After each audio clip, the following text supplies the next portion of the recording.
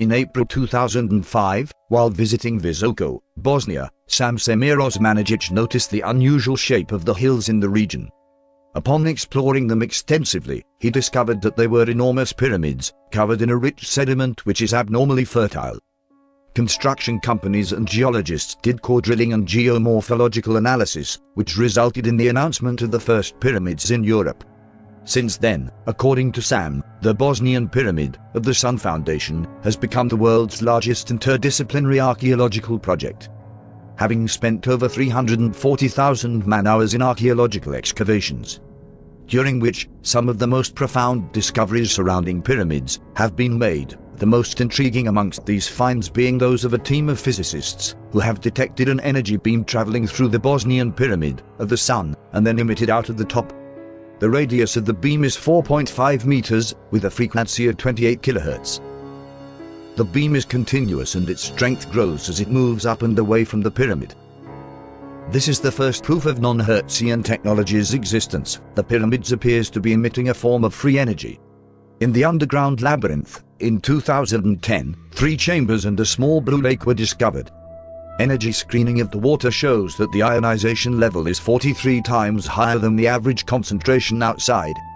Further electromagnetic detection in 2011 confirmed that levels of negative radiation are equal to zero in the tunnels.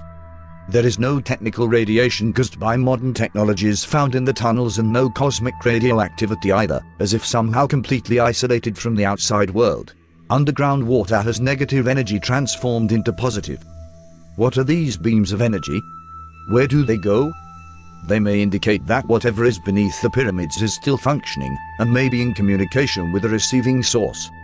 A number of odd ceramic stones have been discovered in the tunnels beneath, some weighing in excess of several tons. The purpose of these stones remains a mystery. Witnesses to strange beams of light being emitted from pyramids have been reported worldwide, some reports even accompanied by photographic evidence of the events. Recently the number of people reportedly seeing a beam of light being emitted into space have skyrocketed.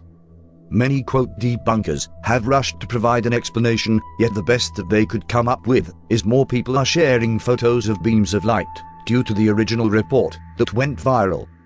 Not really a debunking, more a supporting argument. Coincidentally, it was of a beam of energy captured by Hector Slezar, of the exact same phenomena, just confirmed as existing in Bosnia, that they argue started an influx of recent reports online. Has a huge underground machine started up again? Or are we just becoming more aware of the phenomena, thus noticing it more in general? Upon being asked for a statement in regards to the discovery in Bosnia, Dr. Osmanagich said, perhaps by changing our beginnings, or learning to better understand our beginnings, we can also change our present and our future. I will keep you posted.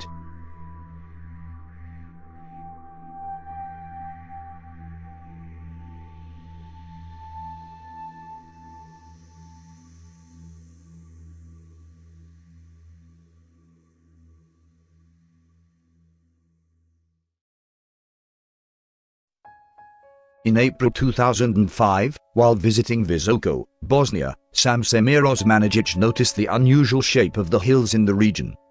Upon exploring them extensively, he discovered that they were enormous pyramids, covered in a rich sediment which is abnormally fertile. Construction companies and geologists did core drilling and geomorphological analysis, which resulted in the announcement of the first pyramids in Europe. Since then, according to Sam, the Bosnian Pyramid of the Sun Foundation has become the world's largest up and away from the pyramid. This is the first proof of non-Hertzian technology's existence. The pyramids appears to be emitting a form of free energy. In the underground labyrinth, in 2010, three chambers and a small blue lake were discovered. Energy screening of the water shows that the ionization level is 43 times higher than the average concentration outside. Further electromagnetic detection in 2011 confirmed that levels of negative radiation are equal to zero in the tunnels. There is no technical radiation caused by modern technologies found in the tunnels and no cosmic radioactivity either, as if somehow completely isolated from the outside world. Underground water has negative energy transformed into positive. What are these beams of energy? Where do they go?